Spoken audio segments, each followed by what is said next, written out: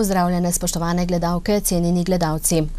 Veliko naših rojakov živi v zamejstvu in po svetu. Za stik z njimi je odgovoren Urad Republike Slovenije za slovence v zamejstvu in po svetu, ampak ta tema nam ni tako zelo znana, zato z veseljem pozdravljamo daj ministerski stol ministra za slovence v zamejstvu in po svetu Gorazda Žmavca. Lepo pozdravljeni. Lepo zdrav. Najprej kratka osebna predstavitev, tako ker ste minister zdaj pravzaprav prvič ne, in uh, kaj lahko o sebi poveste. Ste pravnik, predvsem ste bili v gospodarstvu, doslej prihajate pa z Ptujskega. Ja, se ste vi že uvodoma to povedali, jaz sem 68-letni pravnik iz Ptuja. Kot pravnik sem delal dolgo časa v gospodarstvu. Uh, sicer pa moram reči, da uh, sem rojen Ptujčan, jaz sem tudi osnovno šolo obiskoval v Ptuju in gimnazijo, potem sem študiral pravo v Mariboru, uh, pozneje pa sem uh, se zaposlil v gospodarstvu in sem delal kot pravnik v gospodarstvu skoraj 40 let. 35-40 let in mojega dela, ne 35 let gospodarstva, in 5 let sem pa bil v politiki med drugim tudi župan eh, Ptuja, sedaj pa opravljam eh, to profesionalno nalogo ministra za zamejce, eh, za zamejce in slovence po svetu. Tako da lahko rečemo 40 let te moje dobe, ne 35 let gospodarstva, 5 let politike. Kako to, da ste stopili v politiko? Ma, poglejte, jaz sem v politiki že skoraj 40 let, vendar ta prisotnost v politiki ni bila nikoli profesionalna. Ne profesionalna je bila samo v teh dveh eh, momentih, ki sem, eh, ki sem jih povedal. Ko sem na nek način upravljal zelo odgovorno nalogo župana, kot je najmlajši župan v Ptuju, tam 80-90 leta, e, mislim, da je pravzaprav to zaznamovalo to mojo pot, da sem se vrnil nazaj v gospodarstvo, vendar politično sem bil tudi v nadaljevanju aktiven. E, tako da ta e, prihod in odhod iz politike ni nikoli naznačen, ampak ima neko svojo trajanje in tisti, ki smo družbeno aktivni, pač to vlečemo. Se pravi, tudi v gospodarstvu je potrebno uh, biti povezan in delovati uh, in skrbeti za okolje in za razmere v družbi. Uh, povejte, zakaj prav stranka Desus? Ja, pogledajte, jaz sem zadnjih, jaz moram reči, da stranka Desus je stranka, ki je v tem trenutku stranka moje generacije. In uh, moram reči, da to je zadnjih 10-15 letih, koliko sem jaz aktiven v Desusu, uh, smo se aktivno vključili, predvsem tisti, ki smo že prej bili politično in pa družbeno, pa gospodarsko aktivni v ta krok uh, te politične stranke, ker smo verjeli v to, da je, potreb, da je potrebno, da ta stara generacija, ki ima določene izkušnje, svojo modrost, uh, in pa tudi neka odgovornost za družbo, kako v družbi naprej, da dejansko tudi naprej aktivno sodelujemo pri eh, družbenih razmerah in pa sprememb teh družbenih razmer, ker smo se zavedali, da moramo tudi politično zaščititi naše interese, naše generacije. Vendar bolj kot to danes odpiramo temu, da nismo odgovorni samo za našo generacijo, ampak dejansko skozi našo politično aktivnost odgovorni predvsem za to, kaj ponujamo v nadaljevanju te mlade generacije, ki prihajajo za nami. In, uh... Politika na državni ravni je čisto nekaj drugega kot na lokalni. Ne? Takrat, ko ste, ko ste bili uh, župan, uh, je bila odločitev za sprejem tega ministerskega položaja težka ali lahka? Predvidevam, da niti ne tako težka. Ja, jaz mislim, da je bila težka. Jaz mislim, da je bila težka. Jaz moram reči, da je bila težka, ker predvsem eh, tudi eh, iz eh, tega, da je gre za, za pravnika, ki je delal dolgo v gospodarstvu in istočasno za nekoga, ki je sicer imel neke močne politične izkušnje na lokalni ravni. Ne, e, sem se zavedal, da na nacionalnem nivoju ne, je dosti težje in da verjetno moj prihod bo tudi težko sprejet, ker ve se, ne, da je zelo težko pričakovati, da nekdo, ki bo prišel iz lokalne uprave, dejansko lahko uspešno deluje tudi na nacionalnem nivoju. Zato sem se jaz eh, globoko razmišljal takrat ali prevzeti to nalogo, vendar po temeljitem premisliku in po nagovoru, oziroma po, po, po, na predlog eh, predsednika Karla Ljavca, da potrebuje partnerja in sodelavca v nadaljevanju v vladi, ker smo imeli neko politično večino in smo mogli to v tem mandatu Alenke Bratošek uskočiti eh, noč, sem eh, pristal na to področje. To pa je področje za Slovence in Slovence po svetu, ker sem pa mislil, da je to morda neka kombinacija med politiko, lokal, eh, aktivnostmi, ki smo jih upravljali že na lokalni ravni, tudi sodelovanje s sosednjimi državami in pa tako imenovano kulturno, kulturni prostor, tako da je dejansko neka, neka, eh, neka kombinacija, kjer bi lahko bilo področje, ki ga na nek način s temi izkušnjami lahko operativno vodim. Tako da ta odločitev je bila težka, vendar danes moram reči, da mi ni žal, da sem se za to odločil in sem se odločil tudi za drugi mandat. Ne. Mhm, torej, pravno formalno je to vaš drugi mandat, ne, ker sem rekla je. prej, da pravzaprav niste še dolgo minister. Ja. Eh, se vam zdi, da je hitro minil ta čas ali vendarle eh, ne? Ja, gledajte. Eh, jaz moram reči, zakaj sem se tudi odločil, drugi, da nadaljujem ta drugi mandat.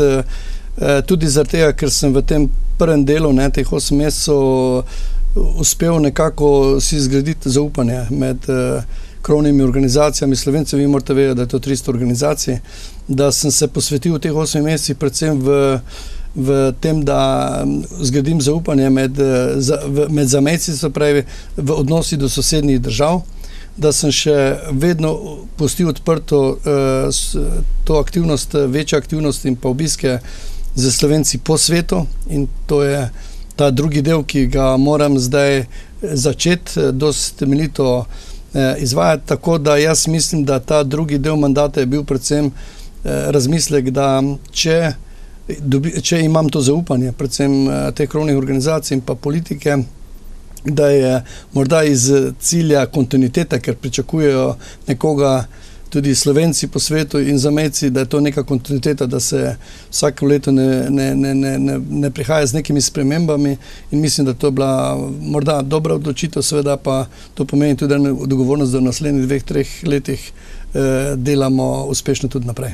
Lahko bolj podrobno opredelite naloge urada, kaj, zakaj vse so zadolženi, tako vzdrževati stike, ne to je zelo splošno rečeno. Ja, pogledajte, tu ne gre samo za vzdrževanje stikov, tu, eh, tu gre za tole, ne, da je bilo dolgo časa ta dilema, ne, ali ta urad ne, ima neko nalogo ministrstva, ne, eh, kjer je predvsem želja bila slovencev in slovencev po svetu, da imajo svojega ministra, svojega človeka, ne, ki bi bil odgovoren, ki bi bil povezovalec, ne, to, kaj pravite, med domovino in pa med eh, temi 300 organizacijami v zamestju in v svetu. je predvsem iz tega stališča, da tudi kot minister lahko dosti bolj odgovorno in z večjo avtoriteto zagovarjajo politiko znotraj vlade. In jaz mislim, da je ta politika prava in da ne glede na to, da so bile to včasih funkcije državnih sekretarjev, je ta politika, da to mesto vodi eh, minister pravilna, ker eh, kot minister za slovence po svetu in za mesto sem pravzaprav enakopravni član vlade in tudi so odgovorni za sicer politiko vlade, gospodarsko politiko, socialno in lahko tudi vplivam na marsikatero odločitev, ki pa je zelo pomembna za to, kako lahko te odnose gradimo z zameci in slovenci po svetu tudi naprej. In ravno tu je, kakšno je sodelovanje z zunanjim ministrstvom? Nekateri bi morda rekli, da eh, bi lahko ta resor bil pod zunanjim ministrstvom. Ja, jaz moram reči, da je bila to že uh, kombinacija ne, in uh, je to delovalo znotraj zunanjega ministrstva. E, vendar pa ta odločitev, da, da je to samostojni resor, je pravilno. Moram pa reči, da mi dva z zunanjim ministrom Karolom Rjavcem imamo, ker smo politična sopotnika, izredno dobre e, medsebojne odnose in na nek način prelivamo to soodgovornost, tako da vodimo lahko to skupno zunanjo politiko in politiko za slovenci v zamestju in po svetu zelo odgovorno in kar je zelo pomembno, spremlja nas tukaj v našem delu vsa konzularna mreža ne, in pa veleposlaništva, ki jih pa imamo v tujini. Mhm. Krovni zakon z vašega področja je zakon o odnosih Republike Slovenije eh, Slovenci zunaj meja. Eh, koliko Slovencev živi v zamejstvu, koliko jih je po svetu, eh, kako je s temi podatki? Ja, poglejte, mi se moramo zavedati, da je več kot pol milijona slovencev v svetu. Ne? In Slovenija ni samo dva milijonska. Ne? Slovenija je dva pa pol milijona in ta politika naša do zamestva, ki jo bomo mogli nadaljevati in graditi, pomeni, da imamo mnogo več slovencev, ne, tudi zunaj meja, ne, in da ta Slovenija je toliko večja. Vendar pa mora biti bolj, bolj organizirana in uh, pove, povezana tudi z matično domovino. To je naša glavna naloga, je naša funkcija. Moram pa reči, ne, da sem zelo ponosen in vesel, ko v kontaktu z zameci in slovenci po svetu, ki jih zdaj obiskujem, ugotavljam, da so dejansko to zelo trdoživi slovenci, ne, ki so mogli v teh 50 stoletjih preživeti z, svoj, z slovenskim jezikom, z slovensko identiteto in uh, kljub temu, da so se mogli asimilirati v državah, kjer živijo, ne, so z srcem in dušo mnogo večji slovenci kot mi sami, dosti krat in to je meni nek navdih, ne, da je treba to sodelovanje zdaj in to organizacijo povezovati, te organizacije povezovati in jim dati preko inštitucij, ne, tudi slovenskih inštitucij, govorim predvsem znanosti in vsega tega, kar je nas polago, da te odnose gradimo naprej in moram reči, da so lahko te slovenci, zameci in slovenci lahko naši dobri ambasadori. Po, po milijona nas je zune. In ja. to, je, to je ta pomembna povezava in uh, to pomembna subioza našega sodelovanja. Um. Rekla sem, eh, kdo je sploh slovenec. Eh, ponavadi rečemo tisti, ki je pač državljan, ampak uh, imamo tudi opredeljen status slovenca brez slovenskega državljanstva. Ne? Kakšen ja. je ta status?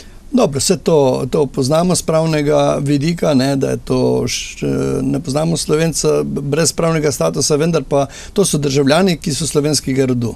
Ne, ampak državljani tiste države, lahko je pa tudi dvojni državljan. Tako da jaz moram reči, da mi tukaj mej ne delamo. Kak formalni status to?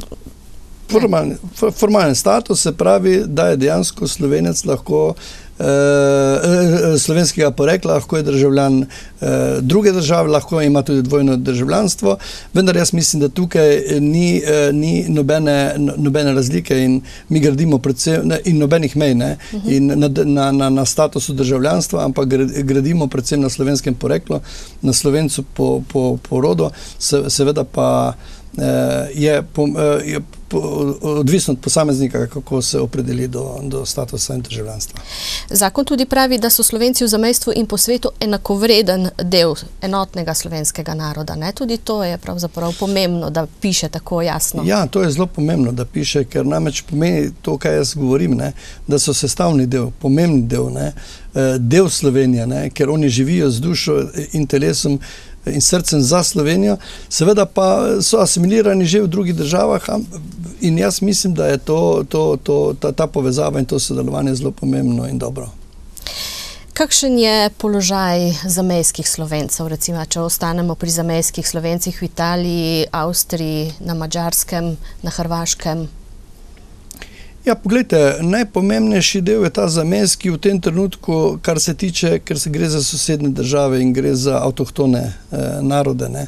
To pomeni narode, eh, avtohtone slovence, ki so, so se spremenjali v zgodovini meje ne, eh, in so stali na neki svoji zemlji, ne, vendar v tuji državi. Tako da jaz mislim, da če gledamo to, eh, ta odnos se spreminja, glede na razmere, ki so bile prej, in mislim, da so razmere boljše.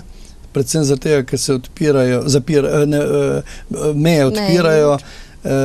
Glede jezikov, zmeraj bolj vemo, da je tudi v evropski družini tudi slovenski jezik, uradni jezik. In kar je najpomembnejše, ne, dvojezičnost, trojezičnost je pravzaprav nova kvaliteta, ki jo gradimo. Ne.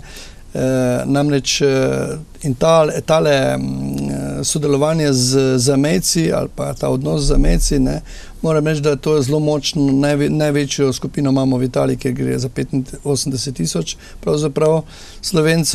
slovenskih rodu. In potem je tukaj Koroška okrog 35-40 tisoč, zelo mala je Mačarska, okrog 3 do 5 tisoč, to je ta del porablja.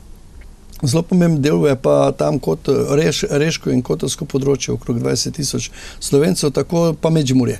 Tako da jaz moram reči, da je to neka, ne, to so sredine in to so približno te številke. E, so pa razli, e, glede na družbeno-ekonomski položaj ne, v različnih odnosih, glede razvoja, tako Koroška, ki se razvija in ta italijanski del, dočim pa pravi, je pa dost, dost manj razvito. Ne?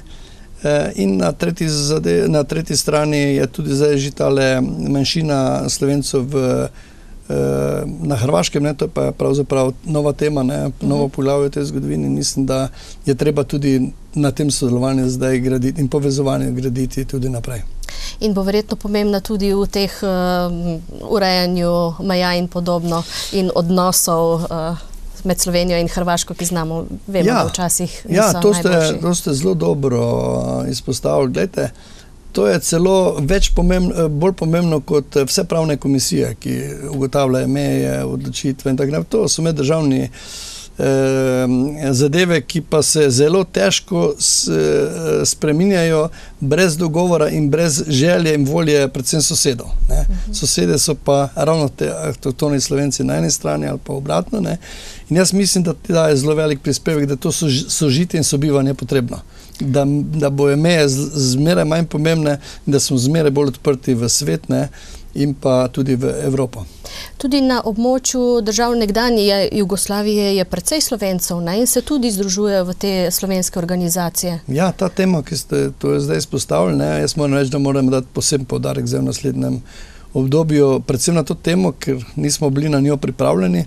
Vendar uh, mi vemo, da v tej zgodovini bivše države ne, je do slovencev delalo tudi zunaj, tudi bomo rekli, veliko strokovnjakov, ne, so se ustvarjali družine, so se preseljevali. Ne. To velja tako za Hrvaško, za Srbijo, za Bosno in Hercegovino, Vojvodino, Makedonijo, Črnogoro. In uh, mi moram reči, da imamo zelo dobro, zdaj, ko ugotavljamo in jih obiskujemo. Jaz sem bil zdaj v Bani Luki, Beogradu, Novem Sadu z Osijeku zelo dobro organizirane te, te uh, že sku, slovenske skupnosti. In uh, mislim, da bomo mogli dati poseben podarek, bojo pa dali tudi verjetno izredno dobro intonacijo tega, med, oziroma tega uh, medsebojnega sodelovanja tudi vnaprej, ker na koncu koncu je tudi tukaj trg, ki je pomemben in je poznan, in pa tudi kultura, ne. to nam je bliže in jaz mislim, da bomo mogli z te, te, te odnose zmeraj bolj normalizirati.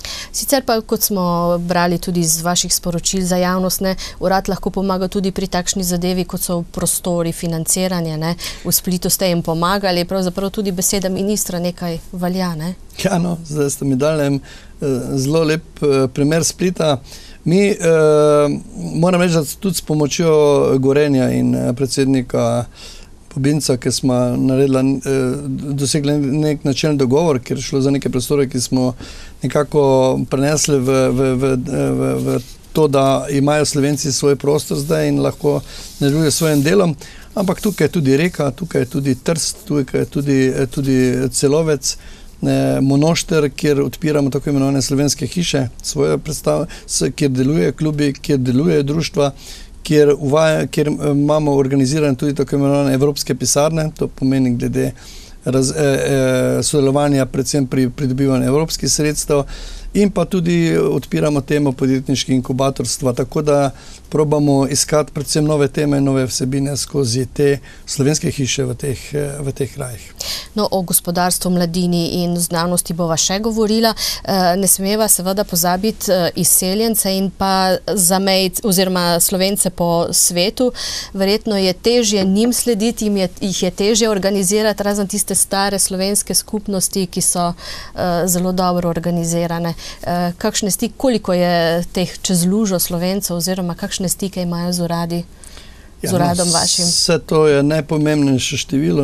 To, če zložaj je skoraj 400 tisoč, od tega 250 do 300 tisoč v tem ameriškem delu, potem moramo vedeti, tukaj Argentina, Urugvaj, Brazilija in to področje, eh, ki je zelo pomembna uh, skupnost, tudi okrog 35 eh, tisoč slovencev.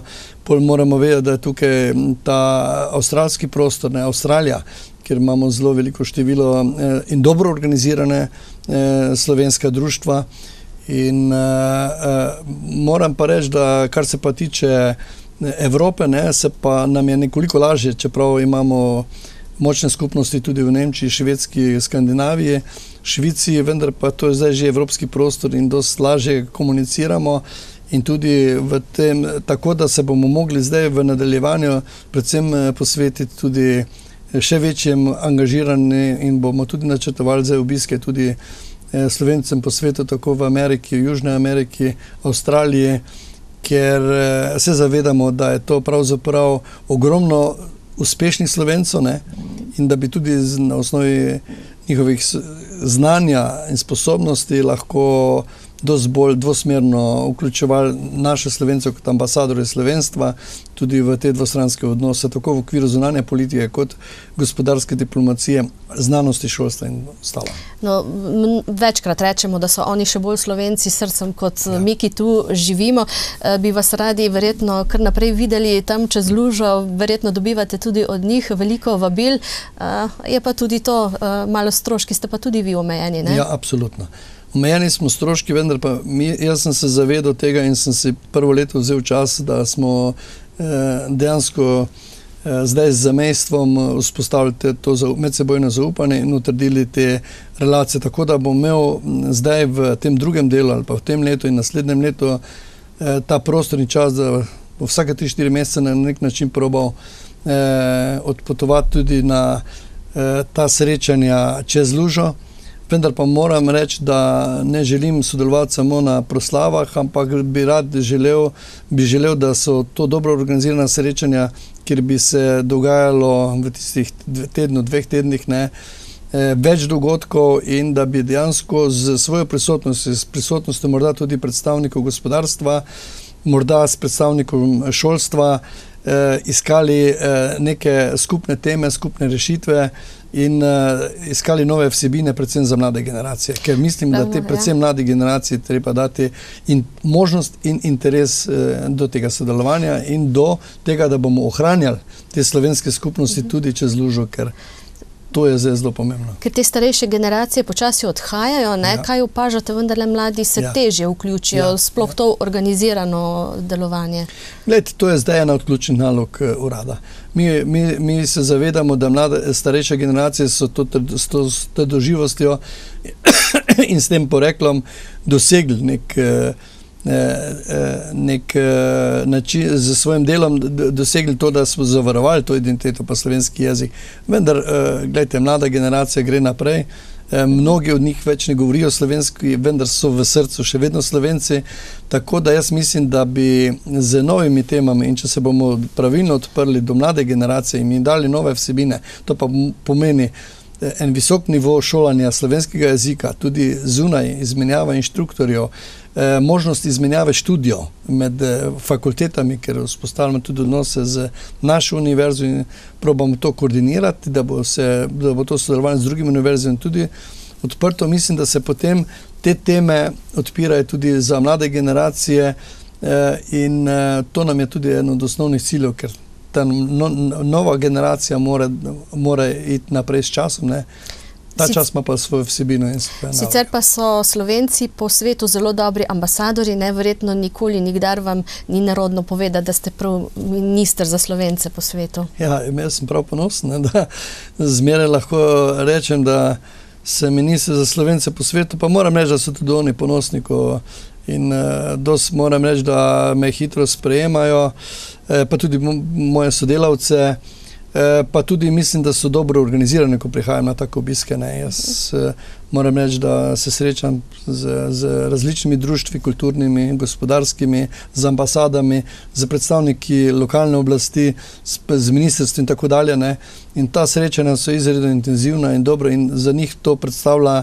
Da to, da Slovenijo res predstavlja ministr, se pogovarja tudi z njihovimi uh, ministri tiste države, z, z župani tistega kraja ali pa lokala, lokalne skupnosti. Tako da jaz mislim, da je to moja naloga. In, in tudi med sabo se dobro obveščajo ne, in pridejo pravzaprav z oddaljenih krajev na ta način. Zelo oni pridejo tudi z oddaljenih krajev, tako da takrat, prihajamo na ta srečanja, so oni, smo dogovoreni za termini, pridejo iz oddaljenih krajev. Dajo svojo vsebino, odpremo teme in vidimo, kakšne so interesi tudi za nadaljne sodelovanje. Jaz mislim, da je to prava pot. Ker je zdaj zelo aktualno v vseh teh kriznih časih pri nas. Pravimo, da se veliko slovencev spet izseljuje, izseljuje, izseljuje v tujino, da gre za beg možganov, to so ekonomski emigranti. Ali spremljate tudi te, ta zdajšen odhod slovencev po svetu, gledate, kam gredo, zakaj gredo, skušate jih kako povezati? Glede, vi ste tu prišli do vsebinskih eh, tem, ne, ki so za nas zdaj najpomembnejše. Ne. Beg možganov ne, uh, bi želeli preusmeriti v kroženje možganov. Uh mhm. -huh. Ker če bomo mi dovolili beg možganov ne, v tem smislu, da dejansko mladi nimajo perspektive pri nas ne, in da morajo za zmeraj oditi kamorkoli in v okviru šolanja, in v okviru iskanja potem svoje zaposlitve ali pa eksistence ali pa svoje karijere, potem jaz mislim, da ne delam nič dobrega za to mlado generacijo. Mi moramo namreč doseči, da bo prišli do kroženja možgana. To pa pomeni kroženje teh kadrov. Izmenjava eh, iz, eh, možnosti, da, da naša mlada generacija lahko študira, tudi da delajo mednarodne mature, da gre za leto, dve leti v izmenjavo študija ven. Uh, da gre tudi morda v, v, v, v določene eh, gospodarske organizacije za določen čas. Vendar mi moramo ustvarjati pogoje ne, s, in možnosti, da se bo ta mlada generacija, ki se izšola, ne, eh, lahko vrnila ven eh, in ustvariti pogoje, da se bo vrnila v Slovenijo in da bo imela svojo možnost karijere in šanse, sicer bo ostala zunaj. In to, ta, to, ta, ta naša politika, kroženje možganov in te, kroženja tega eh, kadrov. Eh, mislim, da je to lahko zelo dobro, zelo dobro za, za, za naš razvoj, in istočasno, da morda koristimo tiste, ki so pa zunaj, da dejansko svojim znanjem, pa kot znanstveniki, kot zdravniki, kot odvetniki, kot inženirji, kot tehniki, lahko naredijo marsikaj dobrega tudi kot ambasadori za Slovenijo v teh kriznih časih. In glede na to, da so potrebni tudi svoji investitorji in ostalo tako, da jaz mislim, da ta oblika sodelovanja mora iti dvokrožno in če bomo to uspeli v naslednjih petih, desetih letih preusmeriti v kroženje te mlade generacije in generacije, ki se je šola tudi zunaj in se vrača domov, ne, uh, in ima tudi šanso, jaz mislim, da je potem smo na pravi poti. No, včasih ja, v naših medijih tudi kakšnega slovenca v tujini, pa res takšnega imamo, pa slovenece in ja. to je naredil in se čudimo na veliko, na mesto, da bi že prej vedeli in bili ponosni na njen. Imate kakšne sezname, recimo, če nekdo ne vem, želi nekje neke stike vzpostaviti, se lahko na vaš urad obrne za podatke?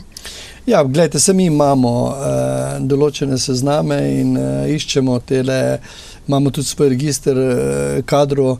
Vendar pa je zelo pomembno nekaj drugega, ne? Eh, niti ni eh, zelo pomembno ta interes obeh. Ne? Največ možnosti je takrat, ko so dobro organizirani slovenci zunaj ne? in oni sami med sabo se poznajo, kdo kaj lahko ne? in koliko so angažirani in koliko se je pripravljen nekdo angažirati. Seveda je pa zelo pomembno, da jim mo damo možnost in izkoristimo to možnost, da ta kader ali pa te strokovnjake vključujemo tudi v naše inštitucije in tu bo naša naloga v bodoče in jaz bom naredil vse, ne, da čim več teh eh, znanstvenikov, eh, profesorjev, inženirjev probamo in tisti, ki so morda že tudi na koncu karijere, ne, ampak za svojim znanjem lahko dajo nek prispevek, tudi izkoristimo za, za, eh, za Slovenijo in za slovenski razvoj. Moram reči, da smo imeli prejšnji mesec srečanje z našim slovencem, to je astronaut Čega, v Ljubljani smo bili na eni poslovni večerji, ker je želel, da ker smo mi organizirali srečanje z njim. Ne? In ko sem ga vprašal, da, nismo, da, sam, da smo zelo ponosni, da je astronaut Čega dejansko slovenskega rodu. Ne? in kaj je pravzaprav vplivalo na njegov uspeh. Ne. Moram reči, da sem bil fasciniran zato, ker je ta doktor Šega rekel, da je sicer vodo tole. Eh, vesolsko, oziroma pravzaprav eh, tole ladje v, v ameriško, in, oziroma v ekipi in ruski ekipi, uh mhm. -huh. bil v svetu, vendar kot general. Ampak on je danes še vedno doktor znanosti in je direktor inštituta. Se pravi, in general in direktor inštituta za razvoj. In uh, da je njegova, njegova pot bila pa pogojena z dvema momentoma, da je želel biti najboljši in da je imel DNK slovenski, da je slovenskega rodu in da ga je to pripeljalo tako daleč, kar je dosegel v življenju. In to, je, to so te primeri, ki jih moramo tudi, ki jih morajo slišati tudi naši ne, doma, kako -huh. se je treba boriti in na kaj moramo biti ponosni. In zelo pomembni so ti osebni stiki. Ne? Sej danes tudi ne, prek spleta vidimo podatke o marsikom, ampak če se tako le pogovarjamo, iz oči v oči je čisto drugače. Ja, gledajte, vse splete in eh, vse te mreženja, tudi mi želimo s portali zdaj doseči, da bo to me, me, medsebojni komunikacija tudi ne samo direktne, na, na, ampak gledajte, spleti, to je en del, ne, da se spoznajo. Sicer pa jaz mislim, da se pa glavne vezi so pa te direktne odnosi, direktne komunikacije. In šele ko spoznavajo nekdo, ki 20, 30, 40 let ni bil v Sloveniji, ne, Slovenije in slovenske lepote, ne, se zaveda ne, teh, eh, vse, teh korenin, po drugi strani pa tudi menim, da mnogo, mno, mnogi so srečni in so uspeli v svetu in eh, živijo srečno življenje. Zdaj ste me spomnili, ker ste rekli Slovenija, njene lepote, tudi na glasbenike ne, in še na mnogi drugi so tudi ambasadori uh, slovenstva, poleg gospodarstvenikov, znanstvenikov in da, da recimo omeniva to, kar je slovencem po svetu tudi zelo ljubo. Ne? Ja, pogledajte, avseniki in vse tole, kaj se dogaja z temi glasbeniki, ki so z teh zadnjih, govorim, 30-40 let, eh, šli kot ambasadori. Oni so res pravi ambasadori in oni so naredili ogromno za Slovenijo ne? in za to povezavo, ker tudi eh, Slovenci sami imajo svoje kulturne krožke, kulturne ustvarjalce. Vendar, ko pridejo ti vrhunski naši glasbeniki in eh, ko se zbere lahko 3-5 tisoč eh, Slovencev ne, na enem prostoru, tudi potujejo daleč, ne, da vidijo, eh, da slišijo avsenike. Ne, in jaz sem danes zadnjič tudi v enem razgovoru. Ki smo ga imeli v celovcu, kjer so igrali avseniki, mladega avsenika, ne, eh, tudi rekel temu, eh, vnuku eh, Slavkota Avsenika, da, da želimo, da morda bojo šli kdaj z nami tudi morda do Avstralije ali pa v Argentino ali pa v Brazilijo in da bomo ali pa v Kanado in da bo in so zelo, zelo pripravljeni tako, da bomo to povezovali, te dogodke glasbene tudi z kulturne in pa tudi z političnimi aktivnostmi. Verjetno pa je prav, da poveva, da pa uh, urad organizira vsako leto srečanje ne, vseh ja. slovencev, to pa je mislim, da v poletnem času. To je v poletnem času, vendar pa moram reči, ne, ta, da kar je zelo pomembno, nekaj, ne, da so to uh, te dobrote Slovenije in uh, sploh naša srečanja, ta letna srečanja so vezana na Juline, ampak uh, jih probamo seliti iz Ljubljane tudi v druge kraje.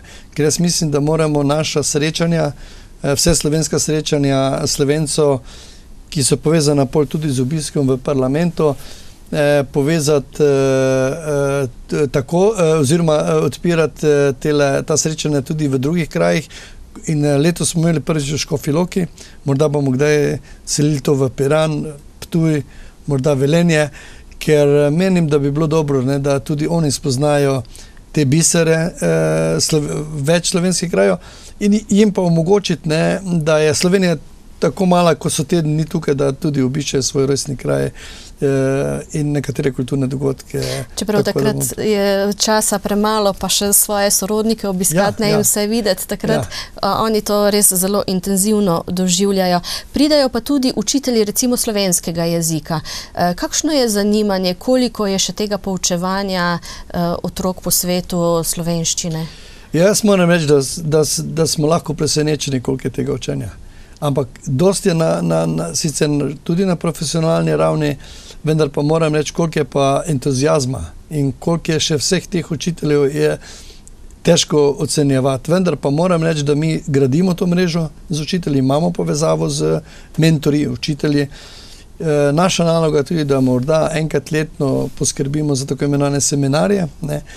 Včasih to prihajajo na seminarje, ki preko filozofske fakultete eh, organiziramo tudi v Sloveniji, vendar bomo zmeraj bolj se nagibamo k temu, da bomo tudi šli čez lužo in morda v, v posameznih eh, regijah tudi organizirali te tečaje slovenskega jezika, ker namreč mi moramo vedeti, da moramo dvigovati nivo eh, znanja slovenskega jezika, po drugi strani pa tudi omogočiti, da dejansko oni prihajajo v Slovenijo, pa morda omogoče našim, ne, kako jih na nek način eh, eh, učiti eh, tujih jezikov in pa omogočiti to izmenjavo.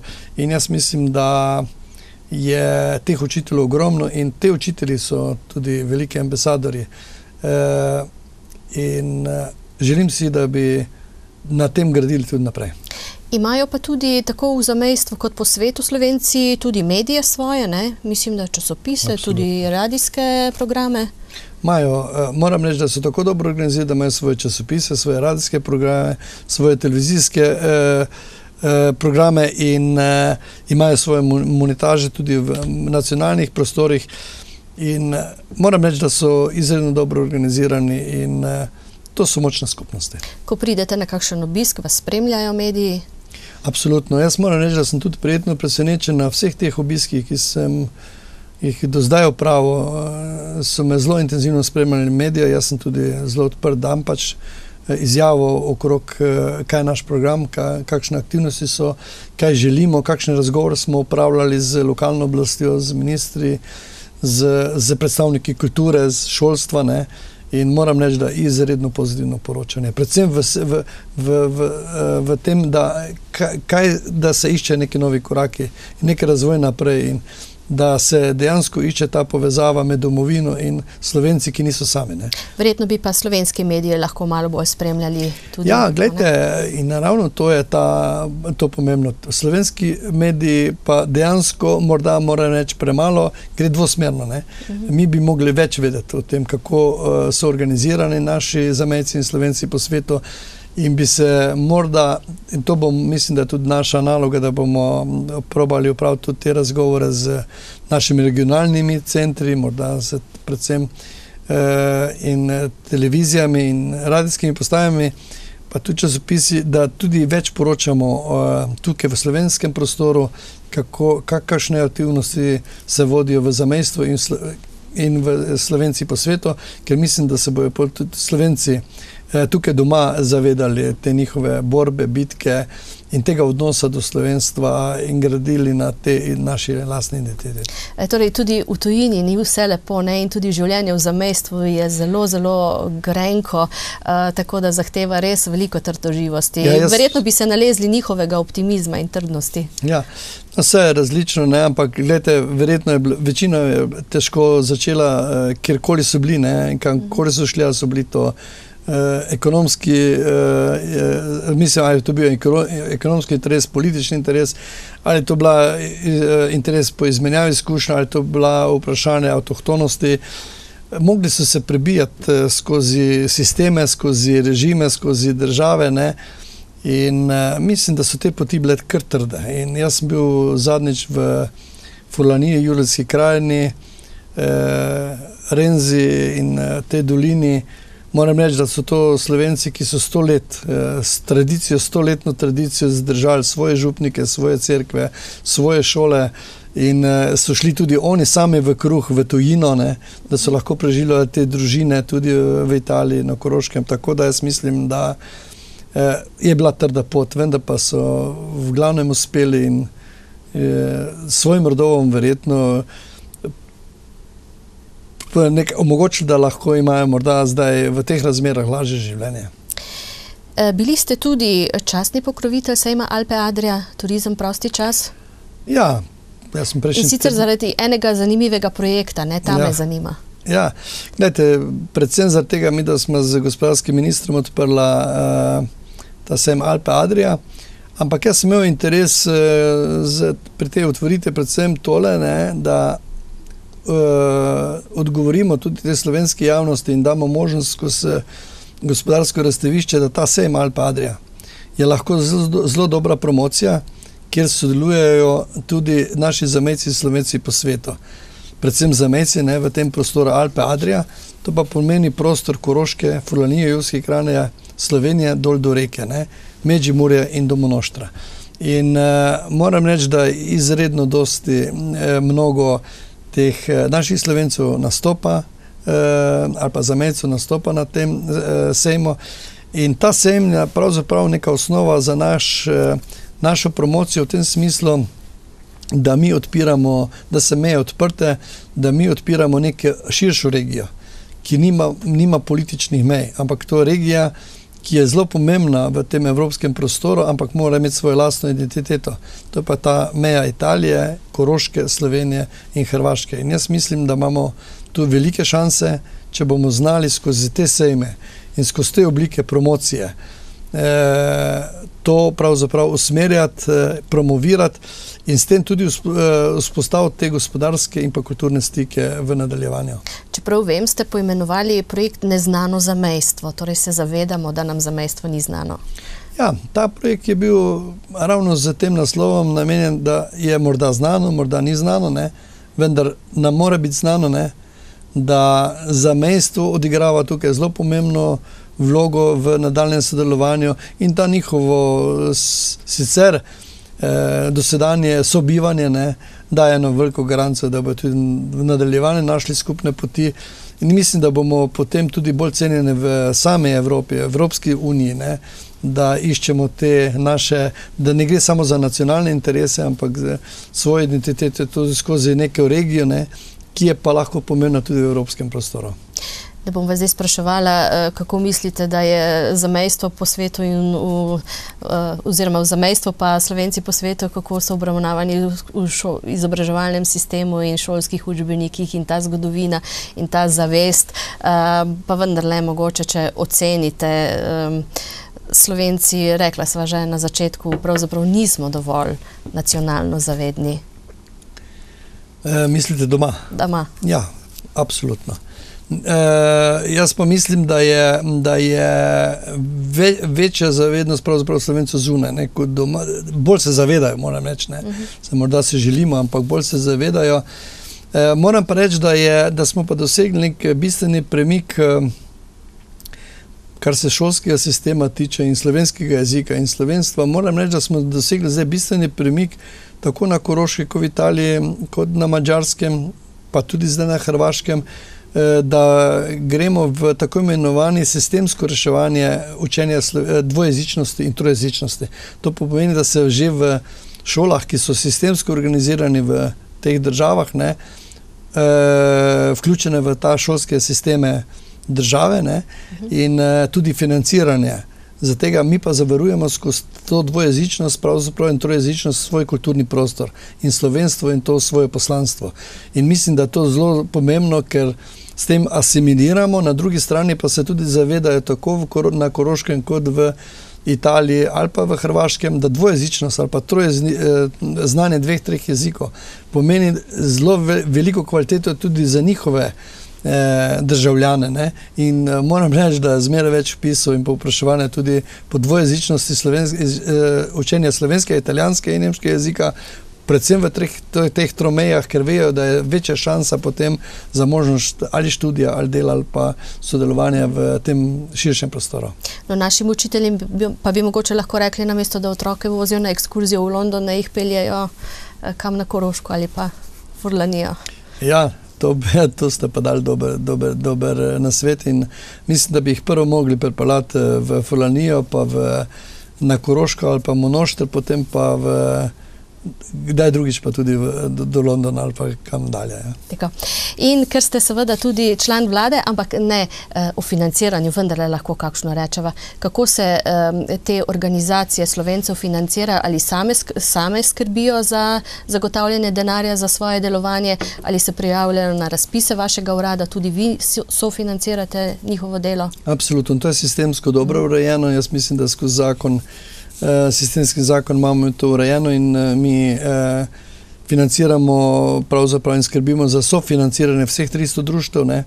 vendar pa glede na programe razpisane in glede na vsebine. Uh mhm. Tako da mi dosti dobro spremljamo tole in dajemo pri teh razpisih zelo pomemben delež predvsem uh, v uh, tistim društvom in tistim organizacijam, ki so dobro organizirane in ki imajo predvsem vključuje to uh, mrežo učenja slovenskega jezika, potem raznih kulturnih dogodkov, ne, povezovanje, gradino na identiteti, ker mislim, da je to na dolgi rok potrebno. Vendar pa moram reči, da to je en del eh, financiranja, drugi del si oni pridobivajo tudi skozi sistemsko, skozi državo, v kateri delujejo. Na tretjem delu pa jaz mislim, da pa delamo zdaj predvsem v smeri eh, na tem, da ne bomo mogli živeti na dolgi rok na proračunske sredstva, ker so zmeraj teže razmere eh, povsod, ampak eh, gradimo tudi na tem, da bomo morda z tem drugim, drugimi razpisi eh, čim več črpali tudi tako imenovane evropske sredstva. Gre za nek delež, ne, ki, ki je na kvaliteti, eh, ki bo usmerjen predvsem na na teh eh, možnostih sofinanciranja nekaterih eh, čezmejnih projektov in na tem bomo gradili, ker jaz mislim, da tudi lahko en tretji vir financiranja, ker to je pa pravzaprav ta prava oblika, ker se pozneje, ne, če, raz, če čezmejni projekti zaživijo, ne, postanejo tudi neka, neke cone in gospodarske enote, kjer je možnost tudi zaposlovanja in pa možnost večje kvalitete življenja tudi na tistih področjih, kjer živijo in delajo. Pa je dovolj, je že kar nekaj čezmejnih projektov. Ne? Gledajte, te čezmejni projekti že delamo v zadnje dve, tri leta, vendar pa moram reči, da še zdaj, šele zdaj intenzivno, zmeraj bolj odpiramo, ker eh, moram reči, da te čezmejni projekti dajo neko novo težo ne, v pridobivanje sredstev v, skozi evropske fonde, kohezije in eh, dosti bolj so cenjeni niso, nima nek nacionalni naboj, ampak imajo naboj ne, nekega regijskega projekta. In uh, jaz mislim, da ravno tukaj Sloven v Zamejci in Slovenci po svetu lahko naredijo največ in oni so pravzaprav promotori teh eh, projektov ali pa so ustvarjalci teh projektov. Kar je pa najpomembnejše pri teh projektih, pa da povezujemo agencije, ne, razvojne agencije, tako v Italiji, Avstriji, ki so že zelo razvite ne, in so že na, nekako v tem evropskem prostoru naučene, kako te projekte delati z Slovenijo in pa Hrvaško, ki še le prihaja na to pot, ne, eh, koriščenje evropskih sredstev. Jaz mislim, da ta kombinacija je dobitna kombinacija pri pridobivanju sredstev pa uspešnem izvajanju teh projektov. Tako da nas čaka v tem razvojnem obdobju kohezija 2015, 2014, 2020 izredno velik napor in tukaj bomo dali veliko energije in napora, da še bolj zaživijo te čezmejni projekti. No, morda kdo misli, da vaš urad oziroma ministrstvo ni tako zelo pomembno, ampak vendarle, eh, rekli ste, imate eh, težo v vladi, eh, v vladi pa so razmere trenutno kar zahtevne, ne? sploh zaradi teh vrčevalnih ukrepov, pa vrčevanja in stalnega jemanja sredstev, nižanja sredstev, bom rekla. Mislim, da se morate ministri med sabo kar zelo boriti za svoje resorje. Ja, No, ne gre za težo, ampak gre pa za neko odgovornost. Ne? Vsak član vlade, mi smo kot člani vlade odgovorni enako pravno, enako vredno ne? do tega, da vlada normalno deluje ne? pod uh, vodstvom predsednika vlade. In uh, moram reči, da pa so te borbe kar težke. Gre za resorje, ne? ki so podhranjeni, kar se tiče financiranja. Glede, glede na ekonomske razmere, ki so te zadnje dve, tri leta krute, ne, in glede, glede varčevalnih ukrepov, glede vsega tega, kar, se, eh, kar je treba narediti, vendar pa jaz moram reči, da je potrebno še tukaj zdržati. Ne, in eh, ta, te zmanjševanje sredstev je morda res eh, zelo kruto tudi za posamezna ministrstva in za resore, ki jih pokrivamo vendar moramo to zdržati, ker na dolgi rok moramo mi eh, dejansko priti do zdrave ekonomije in do čistih računov. In mi moramo ta naš eh, krčne, tako imenovane krize, ne, ker nam je grozila trojka, ker nam je grozilo, ker nam je grozilo to, da nismo, nismo več eh, samostojni pri teh eh, daljnih razvojnih odločitvah. Eh, moram reči, da smo to mogli zdržati in da so te ukrepe in te mere eh, bile zdaj potrebne.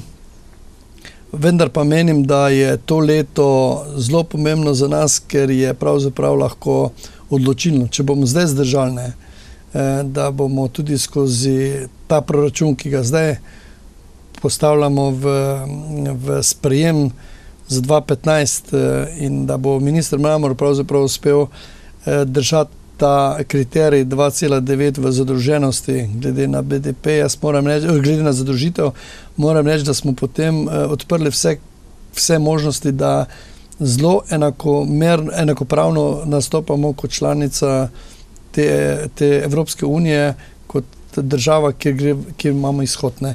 Gre nam za to, da zadnje leto, zadnjo leto uh, že imamo ta tako imenovani BDP, ki se nam je nekje na 2,7 odstotka dvignil, kar je izredno močno v Evropi. e, drugo, gre za 6-procentni večji izvoz, e, bonitete se nam povečujejo.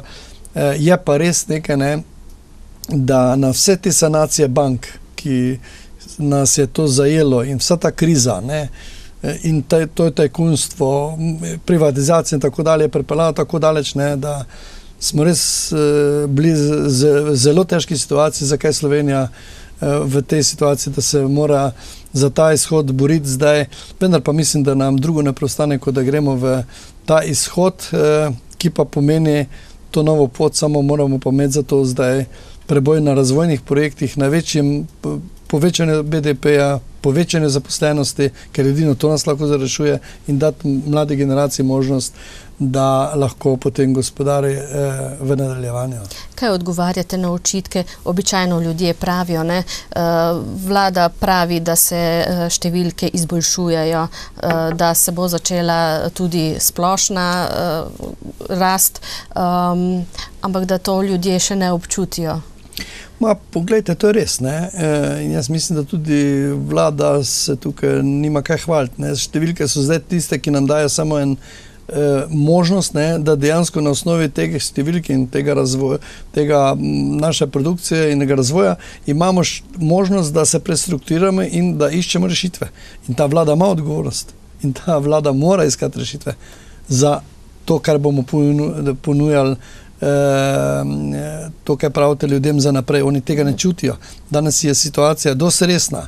Danes je dost, eh, mi, mi, mi v taki so, so, državi, kjer je toliko socialno šipki, še nismo bili. Ne? In, eh, Mislim, da je tega se treba zavedati. Ne, ne, more pa social, ne moremo pa živeti na politiki sociale, če nimamo izhodne strategije, kako ustvariti razvoj, ne, da bomo lahko pokrivali tole naše obvezno zdravstvo, obvezno šolstvo, eh, eh, obvezno, obvezno eh, skrbstvo tudi za starejše generacije. Eh, če ne bomo imeli izhoda in izhodne strategije, kako naprej, zato je naloga te vlade, da ali bo uspela ali ne, in jaz upam, da bomo uspeli v naslednjih dveh, treh letih narediti neki izhod eh, in to je pomembno. Zato je pomembna ta politična stabilnost te vlade, eh, ali te, ali, ker menim, da ni druge poti, ker ta naša politična nestabilnost nas je pripeljala tako daleč, da da že zunaj ne vidijo, kako da smo. Tako da jaz mislim, da ta pot naša je zdaj tukaj potrebna in še leta, ko bomo imeli te prave ukrepe in morda ta izhod bo je verjetno ko bodo ljudje čutili, da se nekaj spremenja, ne, takrat bodo verjetno tudi bolj verjeli v to, da se iščejo prave rešitve in prave poti. Ampak slovenci po svetu bi nas lahko naučili, ne, da a, eh, najbolj pomembno je biti in čutiti slovensko takrat, ko je najtežje, ne, se ja. takrat, ko nam gre vsem, vsem dobro, je dobro. E, drugače pa vas tudi veliko krat pokličajo v državni zbor, ne, v parlament, e, ko smo bili pri vas na obisku, da smo nekaj kadrov posneli, so vas tudi kar tako pravzaprav poklicali, ne, e, kdo vas pokliče, e, predsednik predsednik vlade in reče, da morate pridi, priti? Ne, ne, to, kar se tiče predsednika vlade, imamo mi te redne seje na vsaki četrtek. Ne. Tako da vsak minister je samostojen in enakopravno. Vsak minister ve tudi, kdaj mora priti v državni zbor, ker pač imamo takrat, ko je vprašanje ali pa tema iz tistega področja in je tudi odgovoren državnemu zboru. Ne. Uh, smo pa obvezno zraven takrat, ko so tudi vprašanja do, skupaj s predsednikom vlade, ko so vprašanja naslovljena predsedniku vlade. Uh, sicer pa jaz mislim, da so to te relacije direktne in minister je odgovoren državnemu zboru, odborom, komisijam, ampak to je dvos, dvosmerna pot. Ne gre za odgovornost, gre za prave informacije, pravočasne informacije. Mi moramo biti tudi pokriti z poslanci. Ne. Po drugi strani pa morajo poslanci se tudi zavedati, da dejansko mi imamo operativno funkcijo in moramo delovati operativno, hitro, učinkovito. Tako da te relacije so zelo na samostojni ravni, pa so odgovorne. Ne? So, imamo neko medsebojno soodgovornost. Ste pričakovali, ko ste nastopili, eh, recimo zdaj drugi mandat ali pa prvega, um, da bo tako zahtevno, kot je, ali je morda manj zahtevno, kot ste pričakovali? Uh, imate še več obveznosti, kot ste pričakovali? Ma, gledajte, pričakovanje, ampak moram reči, da je težko, ne? Zelo zahtevno. Ne glede na to, kaj smo pričakovali, pogoji so težki. Ne? Rešitve, ko iščeš rešitve, izredno težko, ko iščemo te skupne rešitve. Sicer pa delo politika, delo gospodarstvenika je zmeraj odgovorno in zmeraj je ta dvostranska pot. In ko se spustiš na to pot, se pač moraš zavedati, da ni, ni enostavno in moraš biti so odgovoren tako do parlamenta, do vlade, do ljudi, do javnosti, možda tudi prave informacije, pravočasne informacije, če je to potrebno. Predvsem v tem eh, odnosu do zaveščanja. In jaz pač kot minister za slovence po svetu in za mestvo upravljam to funkcijo, predvsem takrat, ko sem obiskal zunaj, ker to je moja naloga, da takrat sodelujem z našimi slovenci zunaj in pa z oblastjo tam, ker eh, menim, da je to in moram reči, da me dobro spremlja. In, Kaj bi v tem trenutku sporočili slovencem po svetu in za mestvo? Ja, jaz, eh, če lahko kaj sporočim, moram reči, da sem ponosen, eh, da lahko dejansko gradim to zaupanje z njimi tudi naprej. Da sem v tem času enega leta dejansko eh, doživel to, da jih imam tudi jaz rad ne, in da se želim boriti za njih, ker vem, da je ta borba potrebna. Da bom naredil vse, kar je potrebno, da bo ta povezava med domovino in eh, njihovimi napori, ki niso bili zastojni, uspešna. In da če bomo tukaj si med seboj zaupali, potem jaz mislim, da bom tudi probal zagovarjati čim več teh interesov znotraj vlade, kot odgovoren član ali pa enakopraven član te vlade, zato da bo lepše vsem nam, tako v domovini, kot slovencem za mesto in slovencem po svetu. In kaj bova rekla našim gledalcem ob koncu tega pogovora, optimizem, trdnost? Ja, absolutno. Glejte, upanje umira zadnje. Jaz moram reči, da nikoli eh, ne sme, ne, se ne smemo prepuščati malodušju, ker če bi se slovenci po svetu in z, v zamestu prepuščali malodušju, njih danes ne, ne bi bilo. Danes pa imamo pol milijona še vedno in so aktivni, so organizirani. To velja tudi za našo domovino ne? in to velja tudi za to, da se odpiramo v svet in da smo ambasador en drugemu in da bi želel predvsem, da so ti slovenci ponosni na našo domovino. Zato tudi verjetno je njihova želja, da imamo politično stabilnost, da iščemo rešitve ne? in da so ponosni, da so slovenci. Po drugi strani pa mislim, da smo lahko mi ponosni, da imamo tako uspešne ambasadore lahko v svetu, ker nobena diplomacija eh, ne daje lahko takšne kvalitete ali pa noben obiski ne more toliko prispevati, kot lahko takšna armada slovencev lahko naredi za Slovenijo tudi eh, v zamestju in v svetu.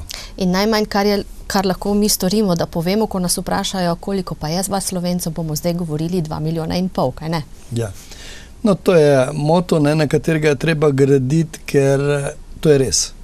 Nas je 2,5 milijona, Slovenija je s tem večja, eh, odpira se v svet, je, je prisotna v svetu, seveda pa smo različno organizirani in eh, moram reči, da je s tem Slovenija večja in bogatejša.